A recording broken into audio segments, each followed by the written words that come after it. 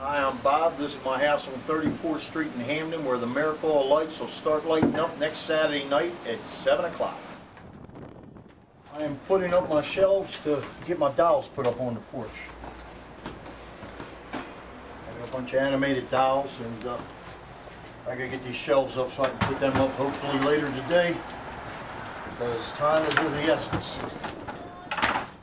My wife's father bought this house in 47, he always decorated it. When uh, I married his daughter in 83, uh, I sort of got a little crazy. Then I put a string of lights from this light pole over to that uh, utility pole over there, and the Lou Wolf guy used to live across the street, asked me to run them over to his house, and then all the neighbors said, why don't you run them across the roofs? And the rest, as they say, is history. My name is Elaine Doyle Gillespie, and um, I live on the Christmas Street. And my house is called the Peace House. And we moved here, this will be my third Christmas here. I would drive by this street, I don't know, 10, 20, 30 times during the Christmas season because my work was there and my house was there, so I always went by this way. And I thought, if I was ever to buy a house, I'd want to buy a house on the street because it made me happy. So I wanted to be a part of that.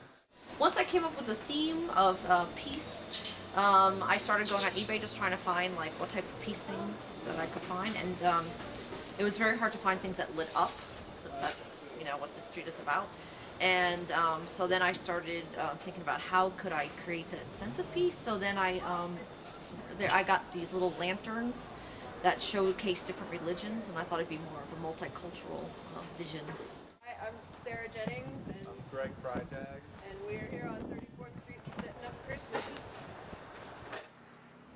The first week is so exciting, and Yeah, everyone's first, like, at the beginning, it's really nice. and then like it takes you like 10 minutes. It took me 10 minutes to get from my door into my car and like actually leave that parking spot one time.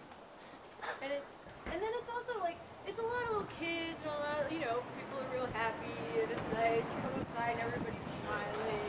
It's it's it's very festive. we had to put up a thing across our our steps because people will come up and look in the windows and we're like we're like just sitting in there watching TV. Yeah. Uh, Richard Jackson. I'm putting a stand up for the, uh, the family of Christ, which is uh, Jesus and Mary and all the shepherds and you know the nativity scene. To stand here for.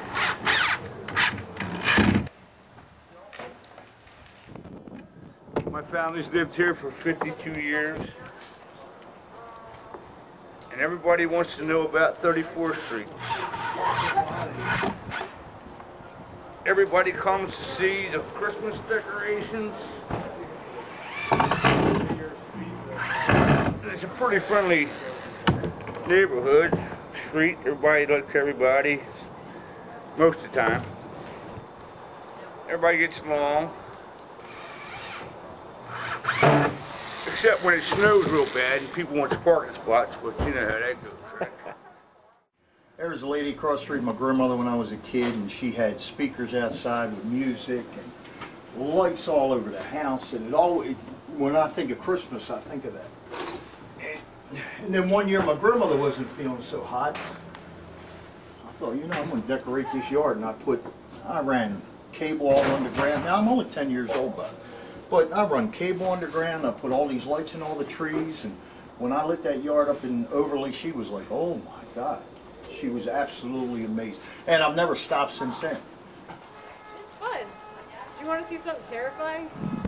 You want to see the where we put all this crap in?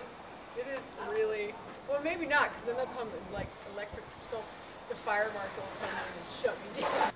This is this is all the tree. Um, where the tree is going to be plugged, or is currently plugged in, and then this is going to be everything else in the front yard. Will be plugged into that one and then they are plugged on to two different timers so that um, we don't set anything on fire. Because and they're on two different circuits so that we don't uh, melt anything like we did last year. One year, my mom come out. She's been here 52 years. She puts baby Jesus in a little cradle here. And one year, somebody took baby Jesus. It was amazing. Somebody took baby Jesus and went around the neighborhood, asking if anybody seen baby Jesus. Went up the farm store up the street, down at 7-Eleven, asked them if anybody seen baby Jesus. Looking in the street, maybe some kid threw it away or something, right? So it was about a week after New Year's. Baby Jesus shows up on the porch. Whoever took baby Jesus, I figured it got to their conscience. And they brought it back. Still the baby Jesus that comes here now. And then mom put that now. Spirit of Christmas or there was some kid and her mother said you better take that thing back. Something like that, you know. I'm not really sure, but it, Jesus made it back. Yes, I'm always surprised by just how excited and happy it makes me feel to see all these people coming to the street, and um, especially when you hear kids going, "Oh, look at that! It's so cool." You know what I mean? That's just, um, it's just a great, it's just really great. And this is such a, it's a community. It's like so many people are out today putting up their decorations, and it's really cool to see that. I lived on my other street for I don't know, eight years, and I didn't know any of my neighbors. But within two weeks of here, I almost knew everybody on the street. So that was really cool too.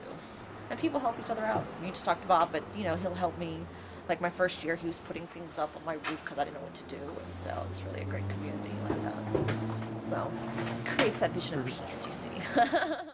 Ago, when I started this in this neighborhood, I, I, I never really wanted to be something just secluded to this street or an attraction or something. So, you know, for people that have went back to their neighborhoods and brought some of this back like it was when I was a kid, then that's good. It's absolutely all good. Believe me, it really, really